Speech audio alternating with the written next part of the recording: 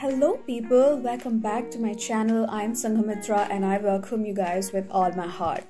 So guys, today's video is gonna be a really interesting one because we are gonna learn about some of the English words which are actually Indian origin right? So whenever we learn a word or whenever we learn a new word or we try to understand a word we should always find out the origin of the word. So yes there are some words in the dictionary english dictionary which is actually indian origin. So let's learn about them.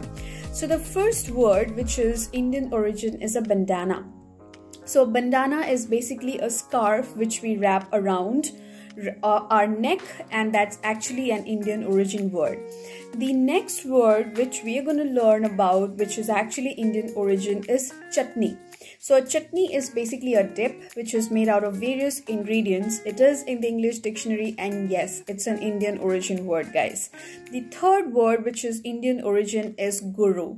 So a guru is somebody who is elderly and who has the knowledge and it is actually used uh, in a lot of ways in the English uh, dictionary and it is actually an Indian origin word. The fourth word which we're going to learn about is yoga. So yoga is a form of exercise and it's actually an Indian origin word guys. The next word we're going to learn about is mantra. So mantra is basically repeated way of chanting something and it's actually an Indian origin word guys.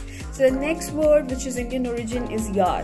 So yar is basically a friend right so uh, that's how you address a friend and it's actually in the Indian, uh, english dictionary and it is a hindi origin word. Right so the next word is khaki. So khaki is a rough piece of clothing which is used to make various forms of clothing and it is actually an indian origin word the next word is chit. So chit is small pieces of um, you know anything paper uh, and it is actually an indian or hindi origin word. So the next word is dinghy dinghy is a small boat or a raft which is used by sailors to actually sail and it's a hindi origin indian origin word. The next word is punch. It's not punch it's the punch. Punch means five. It is a mixture of five of anything and it's a hindi indian origin word the next word is sari. So sari is a piece of clothing that you wrap around your body. It's a traditional Indian dress and it's actually an Indian origin word.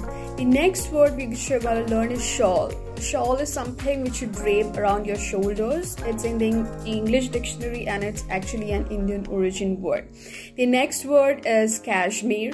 So cashmere is a soft wool clothing. So cashmere material has a lot of woolen clothes and it's actually an Indian origin word. Next word which we're gonna learn is an Indian origin is jute. So jute is a rough piece of clothing. You can make bags out of it. You can make so many things out of that material and it's actually an Indian origin word.